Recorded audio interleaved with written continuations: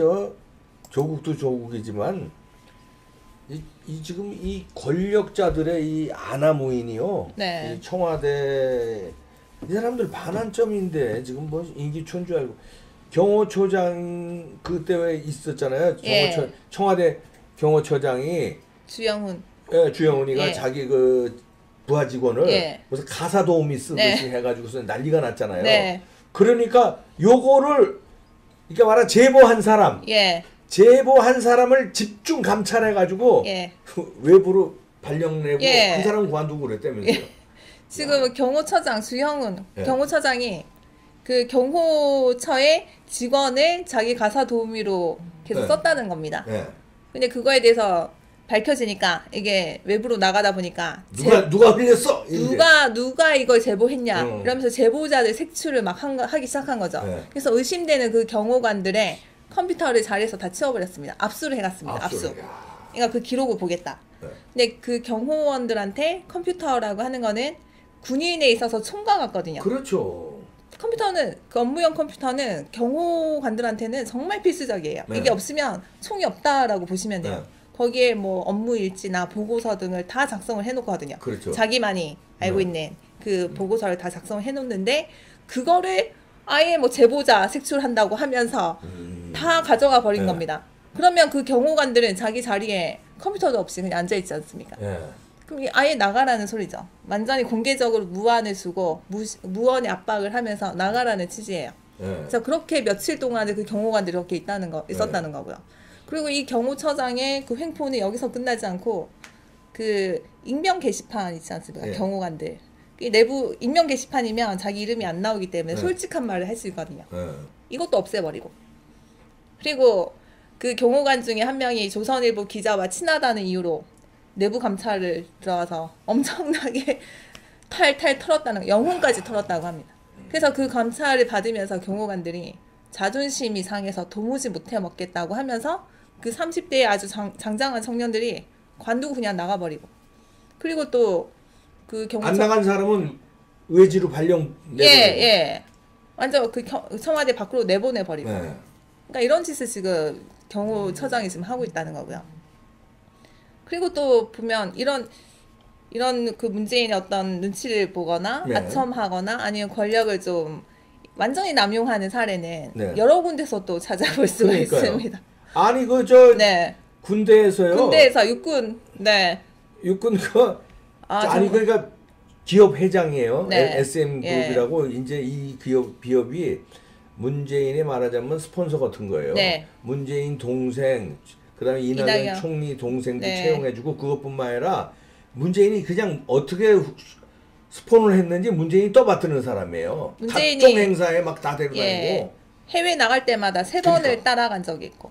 그러니까 그리고 SM 거기를 보면 최근에 자산이 10조나 증가했다고 합니다. 10조. 최근에 문재인 정권 들어서 예. 그러니까 이거는- 이거는 뭔가 뭔가 있죠. 결탁이 있지. 않으면 정경유착에 뭔가가 있죠. 네. 그런 의심이 많은 그 SM에 대해서 네. 이번에 육군이 자기 어떤 군 행사를 하면서 SM 회장을 초대를 해서 그 별 두 개의 찍힌 모자도 씌우고요.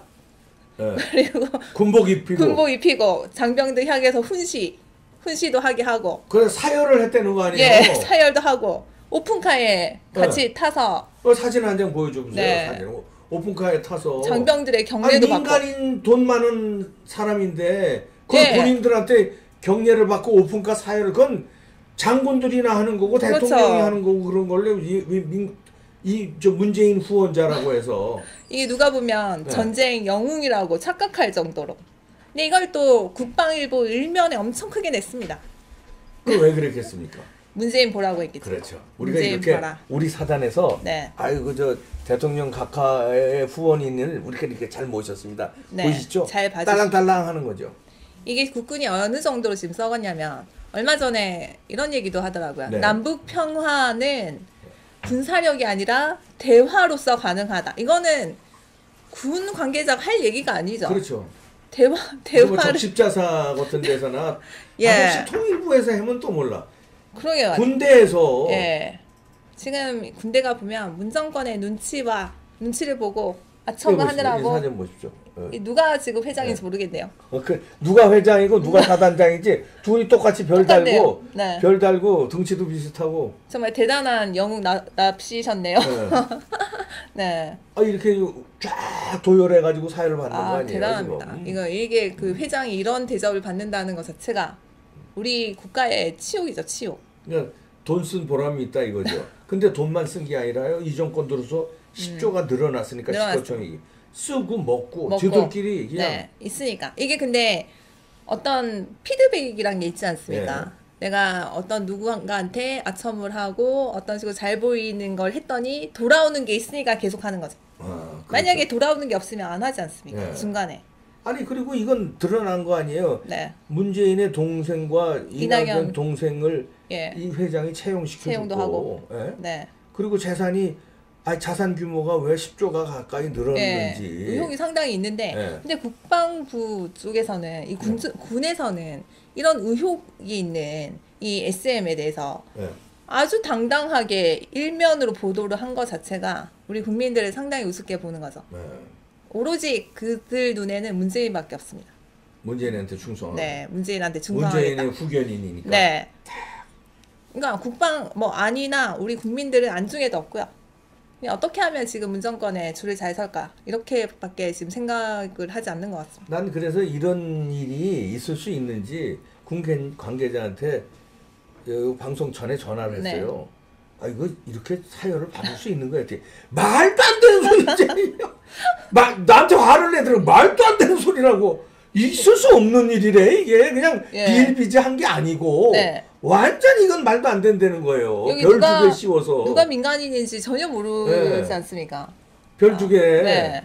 모자 딱 이렇게 쓰고. 사열을 받을 수가 없대요. 군시 예. 군에 와서 시찰하고 네. 이런 건 있을 수 있는데 이렇게 사열을 받을 수가 없대요. 이렇게. 진짜 대단합니다. 지금 문정권을 보면 이번 정권을 잡음으로써 네. 한탕을 해보려고 그 측근들이 정권을 야. 잡으니까 이 미친 듯이 한탕을 하자 지금 기회가 불, 없다. 키, 불 켜고. 예, 불을 켜고 막 전부 다 지금 다 이익을 취하고 하이에나처럼 음. 지금 뭐 정권이 다시 언제 올지 모르니까. 네. 그리고 또 문정권은 이 정권은 어떻게 하면 최대한 이거 길게 연장을 시킬까 그런 꼼수만 계속 하고 있고요. 그러다 보니까 뭐 헌법도 무시하고 모든 법규를 다 지금 무시하는 독재를 지금 하고 있지 않습니까? 이게 예. 체합니다. 이게 뭐냐면 보수들은요 이제 이런 짓을 해도 적당히 해요. 왜냐면 네. 아니 왜냐면 이제 쭉 해왔기 때문에 예. 어느 정도. 근데 이, 이것들은 그냥 맨날 잡으니까 으쌰 으쌰 운동만 예, 하다가 운동만 하다가 평생을 기회다 그냥 닥치는 대로 닥치는 대로 먹는 닥치는데 거야. 지금 국가적인 무슨 어떤 뭐 돈 되는 거는 지금 다 착취를 지금 네. 해나가고 있는 상황이고 지금 하이에나 집단 우리가 지금 다 보고 있지 그리고? 부끄러움을 모르고 몰라요. 이런 네. 게 걸려도 뭐 신경 안 쓰잖아요. 거짓말만 하고. 몇 백만 명이 예. 모여서 태극기 집회를 해도 눈 하나 깠다가 네, 예. 거짓말만 하고 꼼수만 하고 있는 그런 정부라고 보시면 되고 예. 좀 대단 대단하죠. 그러니까 한 번도 보지 못한 군 이제 권력자들 그러니까 대통령을 위시로 한 그 주변의 권력자들이 네. 이제 국민을 이제 눈치 보기를 포기하고 아, 보고 문재인만 보는 거죠. 무조건 한탕하고, 한탕하고. 그다음에 한 번 더 하자. 네. 그래서 좌우지간 언론이고 뭐고 때려잡고 뭐 반대 의견이고 뭐고 없이 그냥 네. 공수처해서 또 때려잡고 네. 여론 왜곡하고 홍보하고 네. 뭐 이렇게 나가는 거죠 그냥 지금 무자비하게. 문재인을 보면 지금 고발 건이 상당히 많거든요. 아. 뭐좀 전에 말씀하신 북한 주민 그 사례도 그렇고 네. 문재인에 대해서 임기가 끝나면 뭐 고소나 고발이 들어갈 사례가 정말 많습니다. 처벌을 받을 사유도 상당히 네. 많고 직권 남용 사유도 많이 있고. 근데 그거를 지금 회피를 하려고 온갖 꼼수를 다 쓰고 있, 는 네. 거죠. 네. 네. 뭐 기존의 대통령들이 참 불운하게도 다 감옥에 가 있는데 그러니까 문재인을 보 지금까지 한 짓만 봐도 네. 이거는 당연히 구속되고도 남을 짓을 정말 많이 하고 있거든요. 네. 근데 그걸 자기는 누구나 누구보다도 잘 알고 있으니까 네. 어떻게든 정권이 끝났을 때 대처를 계속 지금 마련을 하고 있는 거라고 보시면 되고 예. 그 중에 하나가 공수처라는 거. 그렇죠. 예. 그거를 우리 국민들이 잘 아셔야 되고 예. 어떻게든 요- 막아야 되고. 요거 짧게 얘기해 주세요. 아 이거 유, 그 유엔에서 그 뭡니까 저그 북송한 거 있잖아요. 네. 오징어 잡이배. 예. 그거 이, 저 문제 있다고 국제법 위반이죠. 국제법 위반이라고 그랬었는데요. 이거는 헌법 조사한다고 그러더라고요. 문정권을? 헌법 3조 헌법 10조 위반뿐 아니라 네. 국제법 위반이에요. 국제인권법 위반입니다. 이게 보통 그 국제법을 어떻게 규정이 돼 있냐면 그 난민이 아니더라도 자국에서 네. 고문이나 가혹한 행위를 당할 수 있는 사람은 그 해당 국가로 돌려보내서는 안 된다는 규정이 있어요. 그걸 네. 정면으로 위반한 거죠. 어. 완전히 이거는 헌법도 없고요. 국제법도 없어요. 문재인 눈에는 보이는 게 한 구판 구판 북한밖에 없어요. 말이 너무 너무 기가 막혀서 말이 안 나와. 문재인이 그러잖아요. 사람이 먼저다. 네. 이거는 북한 헌법에 있는 말입니다. 이건 보면 무슨 우리나라 대통령인지 북한의 대통령인지 모르겠네요. 아. 그 이렇게 그러면 유 유엔에서 지금 이거 북한 선언 추방하는 걸 조사한다는 거예요. 그러면 네. 우리 정부 이제 청와대 안보실 이런 걸 조사하겠네 그러면. 네. 왜 왜냐면 야. 이게 그렇게 돌려보낸 거를 보면 그 사유가 있어야 되는 거거든요. 그 해당 국가 그러니까 북한에서 이 사람 이 청년들 그러니까 22, 23살이죠. 네, 네. 이 청년들이 돌아갔을 때 가혹한 고문이나 음. 어떤 뭐, 뭐 비정상적인 사법적 절차에 의해서 네. 어떤 불이익을 당하지 않는다는 판단을 한 근거를 내야 돼요, 우리가.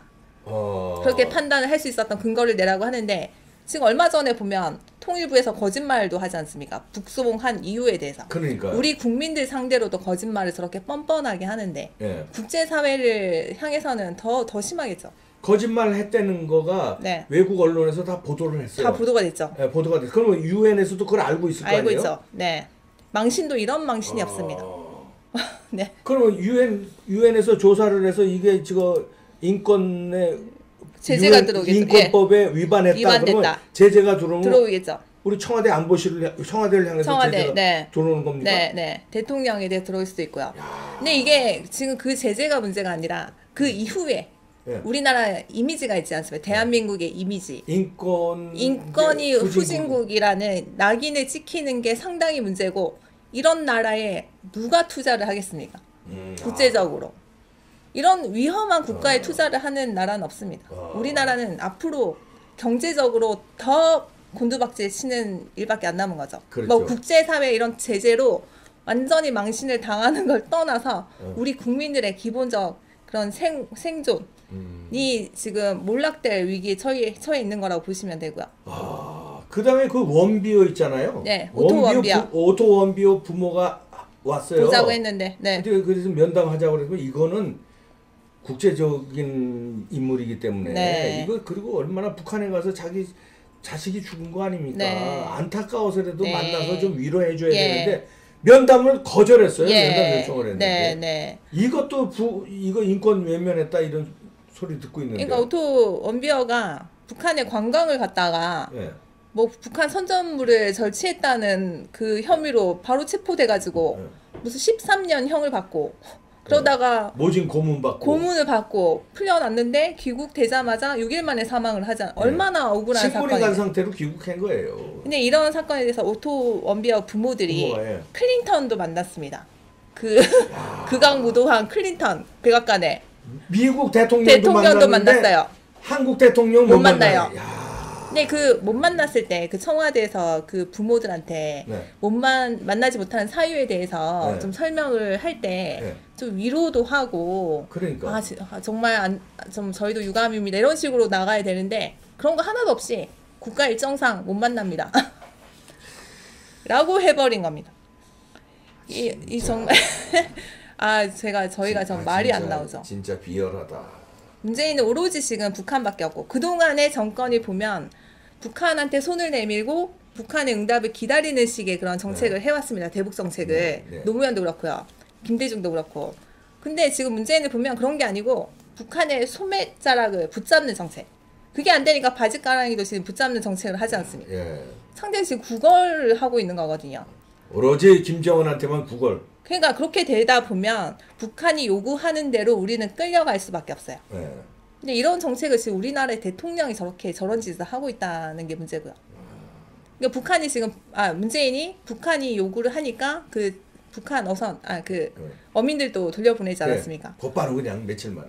김정은이 우리 대한민국에 누구 보내라고 하면 안 보내겠습니까 문재인이 이런 지 이런 짓을 네. 하고 있는데 당연히 다 보내겠죠. 잠시 봐요. 어, 정말. 아 네. 그 이봉규 빨리 보내라. 그 새끼 그저 유튜브에서 헛소리 하는데 가야 되나? 어, 큰일 났네. 보내 보내겠죠.